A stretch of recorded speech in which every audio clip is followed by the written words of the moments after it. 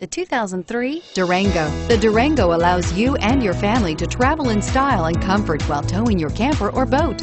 It offers more interior room and towing capability than most midsize SUVs and has an available third row of seating. Underneath are sturdy body-on-frame mechanicals and the option for a powerful V8 engine and is priced below $5,000. Here are some of this vehicle's great options.